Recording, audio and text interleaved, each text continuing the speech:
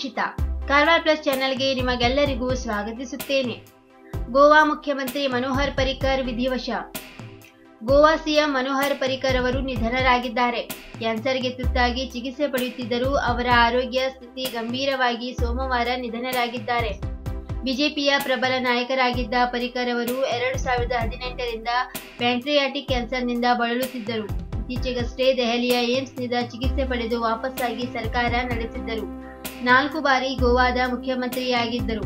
ಅನಾರೋಗ್ಯದ ನಡುವೆಯೂ ಮುಖ್ಯಮಂತ್ರಿ ಹುದ್ದೆಯನ್ನು ತಮ್ಮ ಗೃಹ ಕಚೇರಿಯಲ್ಲೇ ನಿರ್ವಹಿಸಿದ್ದರು.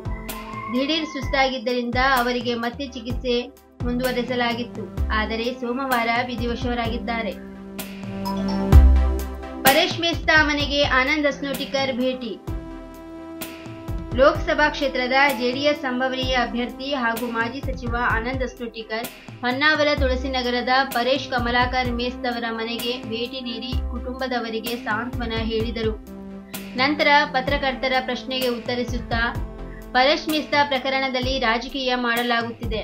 ಹಾಲಿ ಲೋಕಸಭಾ ಚುನಾವಣೆ ಮುಂದಿದ್ದು, ಈ ಪ್ರಕರಣ ಮುಂದಿಟ್ಟು ರಾಜಕೀಯ ಮಾಡುತ್ತಾರೆ. ಆದರೆ ನಾನು ರಾಜಕೀಯ ಮಾಡಲು ಬಂದಿಲ್ಲ. ಮುಖ್ಯಮಂತ್ರಿ ಕುಮಾರಸ್ವಾಮಿ ಸಂದೇಶದ ಮೇರೆಗೆ ಇಲ್ಲಿಗೆ ಬಂದಿದ್ದೇನೆ ಎಂದರು. ಪರೇಶ್ ಕುಟುಂಬಕ್ಕೆ ಮುಂದೆಯೂ ಸಂಪೂರ್ಣ ಸಹಕಾರ ನೀಡಲಾಗುವುದು ಎಂದರು. ಕರ್ನಾಟಕ ಕಾಶ್ಮೀರದಲ್ಲಿ ಠಾಗೋರ್ ಪುತ್ಥಳಿ ಮೂಲೆ ಸೇರಿ ವರ್ಷವಾಯಿತು. ಕರ್ನಾಟಕದ ಕಾಶ್ಮೀರ ಎಂದು ಕಾರವಾರವನ್ನು ಕೊಂಡಾಡಿದ ರಾಷ್ಟ್ರಕವಿ ರವೀಂದ್ರನಾಥ್ ಠಾಗೋರರ ಪುತ್ಥಳಿ ಕಡಲ ತೀರದಿಂದ ಎತ್ತಂಗಡಿಯಾಗಿ ವರ್ಷ ಕಳೆದಿದೆ. ಚತುಷ್ಪಥ ರಾಷ್ಟ್ರೀಯ ಹೆದ್ದಾರಿ ಅಗಲೀಕರಣದ ಸಲುವಾಗಿ ಕಳೆದ ವರ್ಷ ಕಡಲ ತೀರದ ಪ್ರವೇಶ ದ್ವಾರದ ಸಮೇತ ಪಕ್ಕದಲ್ಲಿದ್ದ ರವೀಂದ್ರರ ಪುತ್ಥಳಿಯನ್ನು ತೆರವು ಮಾಡಲಾಗಿತ್ತು. ಹಿಂದೆ ಇದ್ದ ಸ್ಥಳದಲ್ಲಿ ರವೀಂದ್ರನಾಥ್ ಠಾಗೋರ್ ಪುತ್ಥಳಿ ಕೂಡ ಪ್ರತಿಷ್ಠಾಪನೆಯಾಗಬೇಕಿತ್ತು. ವರ್ಷ ಕಳೆದರೂ ಯೋಜನೆ ಕಾರ್ಯಗತಗೊಂಡಿಲ್ಲ. ರಾಷ್ಟ್ರಕವಿಯ ಪುತ್ಥಳಿ ಕಟ್ಟಡದೊಳಗೆ ಹಾಗೆಯೇ ಬಿದ್ದುಕೊಂಡಿದೆ.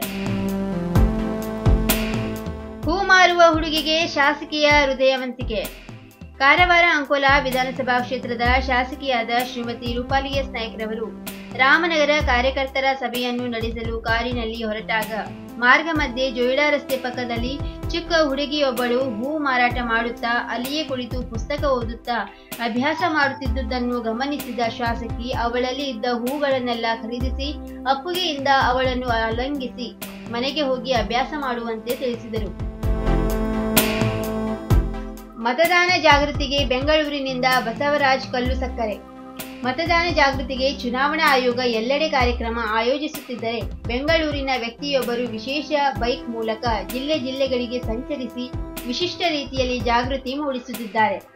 ಸಮರ್ಥ ಕನ್ನಡಿಗರು ಸಂಸ್ಥೆಯ ಬಸವರಾಜ್ ಕಲ್ಲು ಸಕ್ಕರೆ ಮತದಾನ ಜಾಗೃತಿ ಕೈಗೊಂಡವರಾಗಿದ್ದಾರೆ. ಈಗಾಗಲೇ ಹದಿನೆಂಟು ಜಿಲ್ಲೆಗಳಲ್ಲಿ ಸಂಚರಿಸಿ ಸಾರ್ವಜನಿಕರಲ್ಲಿ ಜಾಗೃತಿ ಮೂಡಿಸುವ ಕಾರ್ಯ ಮಾಡಿದ್ದಾರೆ. ಕಾರವಾರಕ್ಕೆ ಆಗಮಿಸಿದ ಅವರು ಟಾಗೋರ್ ಕಡಲ ತೀರದಲ್ಲಿ ಜಾಗೃತಿ ಕಾರ್ಯ ನಡೆಸಿದರು. ಮತದಾನ ಜಾಗೃತಿ ಜೊತೆಗೆ ಪರಿಸರ ಸಂರಕ್ಷಣೆ, ರಕ್ತದಾನ ಮಹತ್ವದ ಬಗ್ಗೆ ಅವರು ಜನಜಾಗೃತಿ ಮೂಡಿಸುತ್ತಿದ್ದಾರೆ. ಹುತಾತ್ಮ ವಿಜಯಾನಂದ ನೆನಪಿನಲ್ಲಿ ಶಾಲೆಗೆ ಸೊಗಸಾದ ಕಾಂಪೌಂಡ್ ನಿರ್ಮಾಣ. ಕುಡಿಭಾಗದ ಸರ್ಕಾರಿ ಹಿರಿಯ ಪ್ರಾಥಮಿಕ ಕನ್ನಡ ಹೆಣ್ಣು ಮಕ್ಕಳ ಶಾಲೆಗೆ ಹುತಾತ್ಮ ಯೋಧ ವಿಜಯಾನಂದ ನೆನಪಲ್ಲಿ ಆತನ ತಂದೆ ಸುರೇಶ್ ವಿಶ್ರಾಮ್ ನಾಯ್ಕ್. ಶಾಲೆಗೆ ಸುಂದರವಾದ ಕಾಂಪೌಂಡ್ ನಿರ್ಮಿಸಿಕೊಟ್ಟಿದ್ದಾರೆ. ಇದರ ಜೊತೆಗೆ ಅಡುಗೆ ಕೋಣೆಯಲ್ಲಿ ಅಡುಗೆ ಮಾಡಲು ಅನುಕೂಲವಾಗುವಂತೆ ಅಡುಗೆ ಕಟ್ಟೆ ನಿರ್ಮಾಣ ಮಾಡಿಕೊಟ್ಟಿದ್ದಾರೆ. ಅಲ್ಲದೆ ಪ್ರತಿ ವರ್ಷ ಶಾಲೆಯ ಏಳನೇ ತರಗತಿಯ ವಾರ್ಷಿಕ ಪರೀಕ್ಷೆಯಲ್ಲಿ ಪ್ರಥಮ, ದ್ವಿತೀಯ ಹಾಗೂ ತೃತೀಯ ಸ್ಥಾನ ಪಡೆದ ಮಕ್ಕಳಿಗೆ ಕ್ರಮವಾಗಿ ರೂಪಾಯಿ ಐದು ಸಾವಿರ, ರೂಪಾಯಿ ಮೂರು ಸಾವಿರ ಮತ್ತು ರೂಪಾಯಿ ಎರಡು ಸಾವಿರ ಬಹುಮಾನ ಘೋಷಣೆ ಮಾಡಿ ಮಕ್ಕಳ ಶೈಕ್ಷಣಿಕ ಪ್ರಗತಿಗೆ ಪ್ರೋತ್ಸಾಹವನ್ನು ತುಂಬಿದ್ದಾರೆ. ಈ ವಿಡಿಯೋ ನಿಮಗೆ ಇಷ್ಟವಾದಲ್ಲಿ ಲೈಕ್ ಮಾಡಿ ಶೇರ್ ಮಾಡಿ ಸಬ್ಸ್ಕ್ರೈಬ್ ಮಾಡಿ. ಧನ್ಯವಾದಗಳು.